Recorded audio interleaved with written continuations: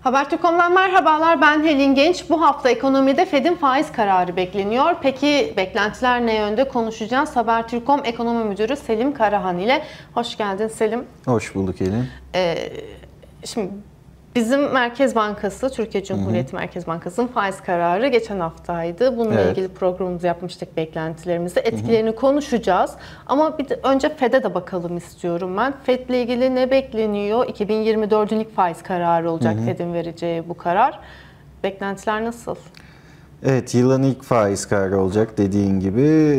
Geçen sene son üç toplantıda pas geçmişti FED. Ee, Mart 2022 Temmuz 2023 arası bir 525 bas puanlık arttırım yaptıktan sonra bekle gör politikasına geçmişti.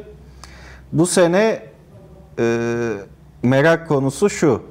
Acaba ne zaman indirimlere başlayacak? Bunu niye merak ediyoruz? Nereden biliyoruz daha doğrusu indireceğini?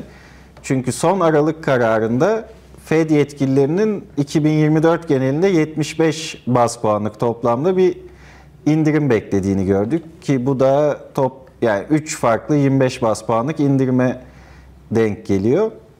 Şimdi o indirimin bu hafta başlanması beklenmiyor. Bu çarşamba günü başlanması beklenmiyor. Bu haftayı da pas geçeceği bekleniyor. Ee, buna neredeyse kesin gözüyle bakılıyor piyasalarda.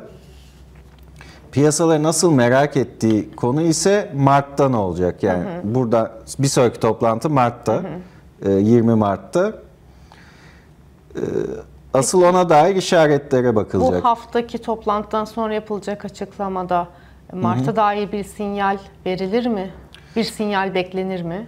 Ee, bir mesaj verileceği kesin. Ee, aslında yakın zamana kadar Mart ayında büyük ihtimalle indirime gidilir deniyordu. Ee, yani son 12 haftaya kadar. Ee, bu iki haftada şu değişti. Bir e, Aralık ayı enflasyonu açıklandı Amerika'da. 3.4 geldi yıllık enflasyon. 3.2 bekleniyordu. Yani beklentinin üstünde bir enflasyon geldi.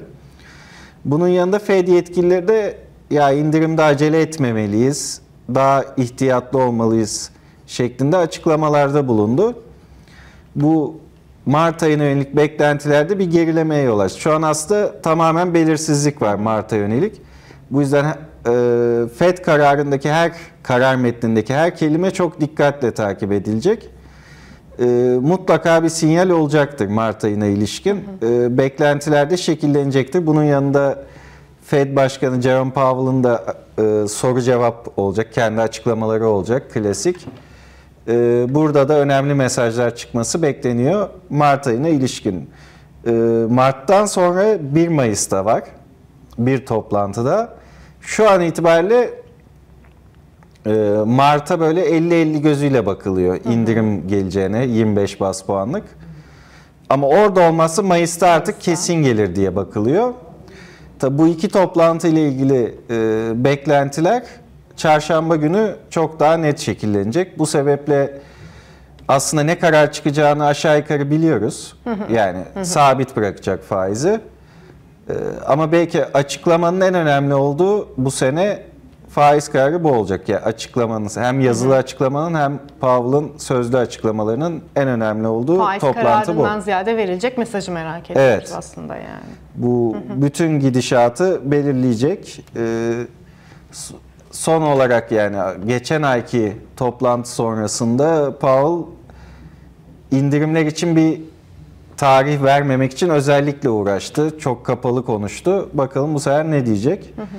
Ee, geçen sefer zafer ilan etmek için erken, Erken demişti. demişti. Enflasyon Haklıymış çünkü da aslında beklentinin üstünde gelen enflasyon Evet. doğrulamadı mı? Evet, Powell bunu dediğinde yıllık enflasyon Kasım'da 3.1 gelmişti. Şimdi 3.2 bekleniyordu. 3.4. 4 geldi. Biraz beklentimizin üzerinde biraz daha tedbirli mesajlar verebilir. Ee, bu da beklentileri Mart ayına ilişkin değiştirebilir tabii. Ee, burada piyasalarda şöyle bir etkisi oldu son bir aydaki beklentinin değişmesinin. Dolar güçlendi. 2023'te iki pardon 2024'te dolar endeksi şu ana kadar yaklaşık bir yüzde bir yükseldi. Yani dünyadaki bütün para birimleri karşısında yüksel, yükseldi aşağı yukarı. Ee, bu gidişatı tersine de çevirebilir Powell ya da daha da güçlendirebilir doları. Bunu takip edeceğiz. Yani böyle iyi riske atmayalım, biraz daha enflasyonu bekleyelim de diyebilir diyorsun. Ee, evet yani bu gayet muhtemel son veriler ışığında. Peki. Çünkü Amerika'da büyüme de beklentinin üstünde geldi. mi? Biraz Resesyon korkusu da olmayınca belki. olsun. aslında o olumlu bir şey tabii resesyon olmaması ama Fed Faiz biraz ekonomi- acele etmeye gerek yok o zaman diye mi Evet. düşünüyorlar? e, yani in- biraz ekonomiyi soğutma yani enflasyonu indirmek için ekonomiyi biraz soğutmak da gerekiyor. İş gücü piyasasına bakılıyor, harcamalara bakılıyor. E, harcamalarda bir artış görüldü son büyüme verilerinde beklentinin üstünde.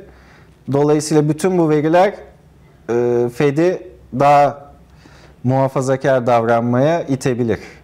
Bunu göreceğiz. Bu hafta bakacağız. Ee, bakalım. Merkez Bankası bize geldik şimdi. 250 bas puan artış. Geçen hafta zaten beklentiye paralel bir şekildeydi. Evet. Ee, etkileri ne oldu şimdi pazartesi günü bugün piyasalar açıldı. Nasıl başladık haftaya?